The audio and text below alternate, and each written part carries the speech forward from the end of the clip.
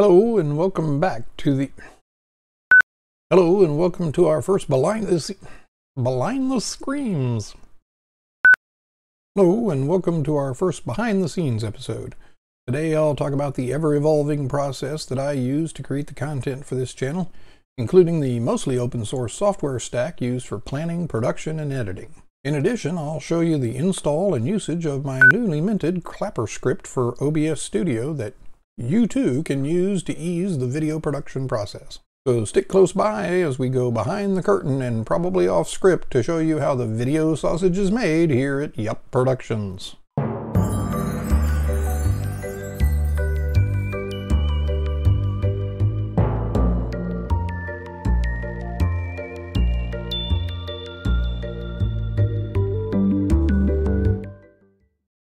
Still here? Okay.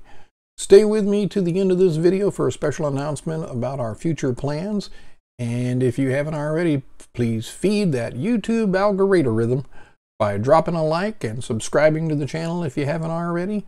Once we get to 500 subscribers, YouTube will open up the community tab and allowing for polls and blog posts and other fun features that enhance the viewer experience. So it should go without saying, but before we can start writing a script, laying out shots, and collecting images or stock footage, we have to have some content already created that we want to show off.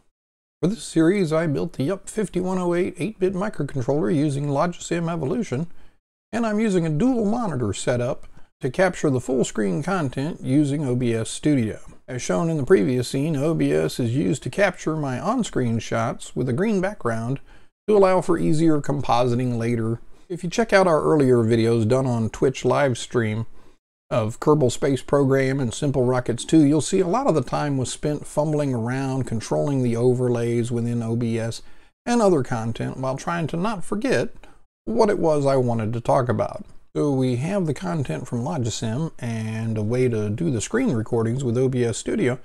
Now we just need a way to edit and combine the various video layers, and for that I use Shotcut. While these tools are powerful, they're not super user-friendly and have a bit of a learning curve to operate effectively. They do have the benefit of being free, and uh, in addition to their large user base means that there are lots and lots of tips and tricks, blog posts, and instructional video videos on YouTube uh, to help guide you. That's pretty much what I did. Learned it all through other YouTube videos. Along with these primary production tools, there is also a collection of smaller utility programs such as GreenShot for taking screenshots eh, of all or part of a screen or a window. I also use GIMP, the GNU image manipulation program, for image editing and combining of screenshots and or stock imagery found on Wikicommons, Emojipedia, or as a last result, Shutterstock.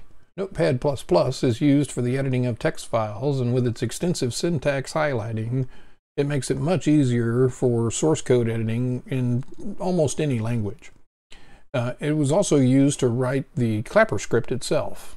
For more extensive word processing, such as writing this script, doing spreadsheets, or producing presentations, I'll use OpenOffice, the Microsoft Office freeware alternative. Another utility program that does cost a little bit of money, but is well worth it, is QIPress. QIPress highlights the location of your mouse cursor and can show mouse button and key presses on screen so that viewers can follow along. Lastly, I wanted to show off my newly minted Clapper script for OBS Studio. Not only does the Clapper script show the Clapper on screen, but it also writes all the Clapper information to a data file located next to the video output file and named after it. This makes finding the right take for a given shot and scene a simple matter of copying the timestamp from the data file into the Shotcut editor. The Clapper script and the underlying Clapper video that you're seeing are available on our Patreon page for free should you want to add it to your video production workflow. To install the Clapper script, first copy the LUA file to a location you'll remember, and then open up OBS, select Tools, Script from the main menu. In the Scripts dialog, Click on the plus button, then navigate to the script location and select it. Once loaded, you have to select the text source that you want the information to appear in.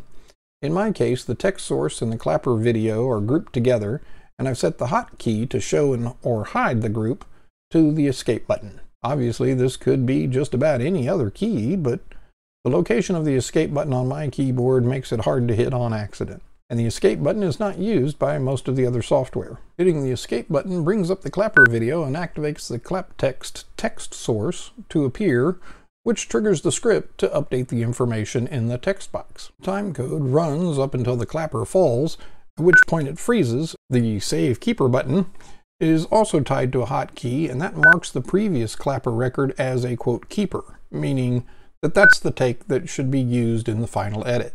Each time the clapper script is invoked, it automatically increments the take number so you can try to get several takes without having to open up the scripts dialog over and over again. With the clapper data file and the original source video, it should be possible to automate the process of throwing away all the unneeded takes to create a first cut video that would only need minor manual editing to finish up. Well, that's about all I had for this first behind the scenes video. Let me know down in the comments if you try out this Script in your OBS productions, and if you'd like to see a video about uh, the Lua language or writing scripts for OBS in general.